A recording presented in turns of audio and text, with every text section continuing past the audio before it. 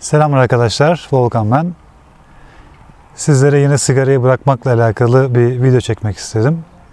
Evet, bir yıl geçti aradan. Ee, gerçekten uzun bir süre, özellikle sigara ile alakalı düşünecek olursak bir yıl geçmesi sigara içtiği zaman bir insana çok uzun bir süre olarak geliyor. Çünkü ben sigara içtiğim zamanlarda bir yıl sigara bırakıp tekrar başlayan insanlara çok imrenirdim. Vay be yani ben bir yıl bıraksam kesinlikle bir daha başlamazdım diye düşünürdüm. Ki gerçekten öyle. Ee, bir yıl oldu ve e, bu bir yıl içerisinde sanki hiç hayatımda sigara içmemiş gibiyim. Öyle hissediyorum. Sanki hiç hayatıma sigara girmemiş gibi hissediyorum. Ee, onun rahatlığını yaşıyorum. Sigara kokusundan tamamen artık e, tiskiniyor bir durumdayım. Adeta yakınımdaki sigara içen insanların biraz önce nereden geçtiklerini e, takip edebilecek bir burun hassasiyetine ulaştım ve e, acaba diyorum sigara içtiğim zamanlarda ben de mi böyleydim? Etrafımdaki insanlar özellikle sigara içmeyenler onlar da benden rahatsız oluyorlar mıydı bu şekilde diye düşündüm ve büyük ihtimalle oluyorlardı. Bu videoyu izleyenler varsa onları büyük bir ihtimalle tahmin edebiliyorum kimler olabildiklerini.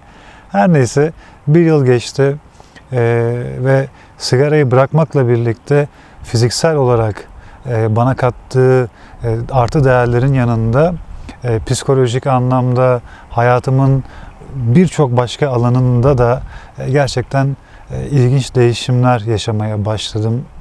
Bunlardan bir tanesi şu an bulunduğum alan e, memleketime döndüm arkadaşlar. Şu an bulunduğum alan Amasya'nın Merzifon ilçesinde. E, Gönül hocamın e, liseden e, resim hocam, Gönül hocamın bağ evindeyim. E, denk geldi. Bugün burada kendisini ziyaret etmeye gelmiştim. E, bu videoyu da çekmek istiyordum. E, böyle güzel bir alanda videoyu çekmek de bana nasip oldu. Teşekkür ederim kendisine. E, arkadaşlar sigara bıraktıktan sonra hayatım değişti ve yaşadığım e, şehirden tutun e, ilgilendiğim e, birçok işte hobiler, işte iş alanlarım, insanlarla olan diyaloglarım, her şeyim değişti arkadaşlar. Yani hayata yeniden başladım desen yeridir. O yüzden size çok fazla hani sigarayı nasıl bırakabileceğinizle alakalı şeyler söylemeyeceğim. Çünkü zaten sigarayı nasıl bırakabileceğimizi biliyoruz. Yani içmiyorum diyeceksiniz ve bırakacaksınız. Ama en önce olan şey niyet. Çünkü niyet olmadan eyleme geçemiyoruz. Biz bir şekilde sigarayı bırakmakla alakalı niyetimizi hep güncel tutmak zorundayız. Bilinçaltımızda bir şekilde bu niyeti döndürmemiz gerekiyor arkadaşlar. Ve zamanı geldiğinde e, bu niyetimiz artık e, eyleme e, doğru bir geçiş yaşayacak. Eyleme doğru geçiş yaşadığında bu niyetimizi gerçekten çok iyi değerlendirmeliyiz. Bununla alakalı olarak bu bir fırsat. Çünkü hatırlarsınız hepimiz hayatımızda denedik işte artık sigara içmeyeceğim, işte bu son paketim veya işte bu son sigaram gibi denemelerimiz olmuştur. Arkadaşlar böyle anları iyi değerlendirip bir tane bile sigara içmemeye özen gösterelim. Zaten ilk 1-2 hafta bununla alakalı e, bir zor süreç yaşıyoruz. O 1-2 haftalık zor süreçten sonra artık hani e, şey gibi olmasın. Ya ben bu kadar zamandır sigara içmedim. Bir tane sigarayı hak ettim gibi bir durumu kesinlikle ve kesinlikle e, kendinize yaşatmayın. Çünkü o ilk sigara içtiğiniz an itibariyle sigaraya geri dönme ihtimaliniz çok yüksek. O yüzden e, bu konuda dikkatli olursanız eğer eminim ki siz de bunu başarabilirsiniz.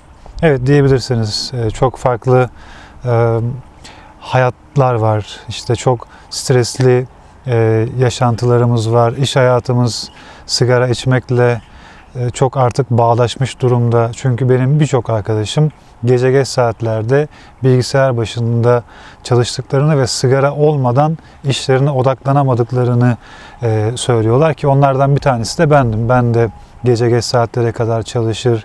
Gün içerisinde de iş hayatım sigara içmeye çok müsait bir ortam e, ortama sahipti. O yüzden rahatlıkla sigara içebiliyordum. Ve sigara içmek, içmemeyi düşünmek beni gerçekten pardon e, işimden alıkoyuyordu. O yüzden e, bu konuyla alakalı bahsettiğiniz süreçleri biliyorum. Fakat bunu öncelikli olarak kendi kafamıza takmadan sigara bırakmanın zor olduğunu hafızamızdan, zihnimizden, bilincimizden silmemiz gerekiyor arkadaşlar. Eğer bunu başarabilirsek işimize de odaklanabiliriz. Günlük hayatımızda yapmamız gereken şeylere de çok rahatlıkla odaklanabiliriz. Bunun dışında fiziksel anlamda gerçekten efsane bir değişiklik yaşıyorsunuz. Yani sabah artık çok rahatlıkla e, yataktan kalkabiliyorsunuz.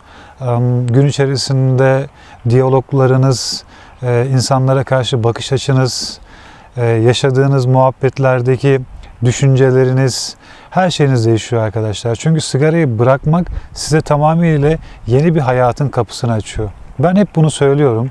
Bir önceki videomda da söylemiştim. Burada da söylemek istiyorum. Sigarayı bırakırken yalnızız arkadaşlar. Yanımızdaki hiçbir insan bize sigarayı bırakmakla alakalı e, büyük bir destek sağlayamamakta. Tamamıyla kendi irademizle, kendi gücümüzle, kendi isteğimizle sigarayı bırakma serüvenine giriyoruz. Ve eğer burada güçlü bir duruş gösterebilirsek, irademizi, sabrımızı e, gerçekten sert bir şekilde e, sergileyebilirsek, sigarayı bırakmanın bize getirdiği bu başarı hayatımızda başka e, bizi esaret altında tutan, bizi aslında kendi benliğimize e, uymayan şeylere yönlendiren birçok zincirden de kurtarıyor. Yani artık şey gibi oluyor. Sigarayı artık bıraktıktan sonra evet ya ben bunu başarabiliyorum. Ben bunu başarabiliyorsam eğer hayatımda şu değişikliği de yapabilirim. Ee, ve sürekli e, zincirleri kıra kıra, zincirleri kıra kıra kendi e, hapsetmiş olduğunuz veya bir şekilde hapsolmuş olan o derinlerdeki kendi öz benliğinize doğru ilerliyorsunuz arkadaşlar ve her kırdığınız zincirde daha güçleniyorsunuz. Evet bazen sizin de yorulduğunuz, sizin de e, sıkıntılı hissettiğiniz, e, destek almak, destek almayı düşündüğünüz zamanlar oluyor. Yorulduğunuz, yalnız kaldığınız zamanlar oluyor. Ama bu zaten böyle değerli arkadaşlar. Yani hayatın dengesi aslında böyle. Ee, güzel ve çirkin gibi, iyi ve kötü gibi. Yani zorluk yaşamadan elde ettiğimiz o kolaylıkların değerini anlamıyoruz. O yüzden bir şekilde yaşadığımız bu zorluklar e, bize sonrasında kazanılan o güzellikleri, kolaylıkları daha da değerli hale getiriyor. Dolayısıyla bir sonraki seferde belki biraz daha zor bir şey için çaba gösteriyoruz. Ve bunu artık alışkanlık haline getirip iradeli olmanın, iradeli davranmanın keyfini sürmek mi diyelim ya da huzurunu yaşamak mı diyelim buna bilmiyorum. Siz karar verin. Bu serüvene, bu hayat yolculuğuna başlamış oluyoruz. O yüzden sigarayı bırakmayı böyle değerlendirelim arkadaşlar. Ben e, uzun yıllar e, büyük bir şehirde yaşamaktaydım Antalya'da. Amasya'nın Merzifon ilçesinde doğdum ve sigarayı bıraktıktan sonra değişen hayat felsefem, hayata karşı bakış açım beni bir şekilde uzun yıllardır e, koşuşturduğum bu hayat temposundan uzaklaştırıp kendi özüme, zaman ayıramadığım aileme, memleketime, doğduğum bu topraklara, bu görmüş olduğunuz güzel doğanın e, içerisine bir şekilde getirdi. Ve gerçekten yaşadığım bu değişimle birlikte kendimi o kadar huzurlu hissediyorum ki, kendimi o kadar hiç kimseye muhtaç olmadan, Allah'tan başka kimseye muhtaç olmadan her şeyi yapabilecek e, güce demeyeceğim buna ama e, yani e, bir şekilde e, o peşinden gittiğim ve insanların sürekli bizi yönlendirdiği bir hırs içerisinde sürekli yarışmak zorunda olduğumuzu hissettiren hayat döngüsünden aslında e, çıkarsam daha mutlu olacağımı, daha huzurlu olacağımı hissettim ve bunun da ilk başlangıç noktası aslında sabır ve irade ve peşine sigarayı bırakmak ve hayatındaki birçok e, seni esaret altında tutan e, zincirleri yine irade ve sabırla kırmakla gerçekleşti. O yüzden siz de bunu e, lütfen yapın. Lütfen sizin hayatınızda irade göstermeniz gereken ne varsa, belki sigara içmiyor olabilirsiniz ama irade ve sabır göstermeniz gereken başka şeyler vardır. Ve bunları kendi gelişiminiz için bir sınav olarak görün. O yüzden bence bununla alakalı tüm girişimleri yapmaktan çekinmeyin. Böyle arkadaşlar. Çok da fazla zamanınızı almak istemiyorum.